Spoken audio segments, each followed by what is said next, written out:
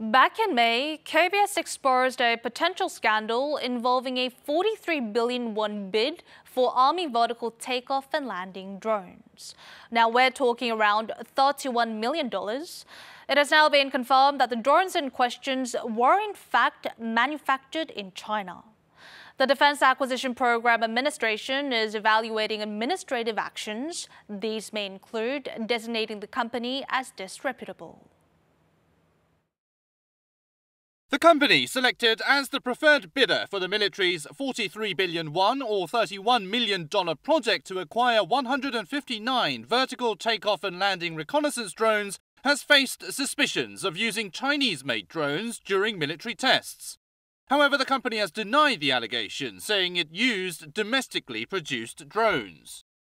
형상 모양만 참고한 것이고 예. 저희가 자체 설계를 했고 군 요구 조건에 맞는 보안상 그다음에 비행 거 작전 반경 네. 능력에 맞게끔 But it turned out to be a lie.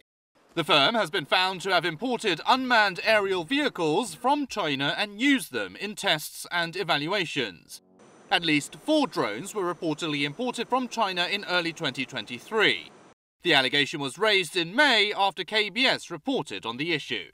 The Defense Acquisition Program Administration investigated the case jointly with the police and the Korean Customs Service.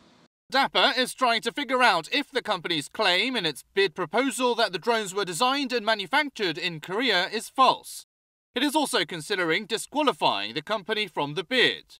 If it is disqualified, it will no longer be a preferred bidder, and it will be banned from participating in the agency's bids for a certain period of time. DAPA has vowed to take stern measures in line with relevant laws. When asked by reporters if Chinese drones were used during tests, the firm said that despite the similar external appearance, the internal components were different, making it a completely different drone from the Chinese made ones.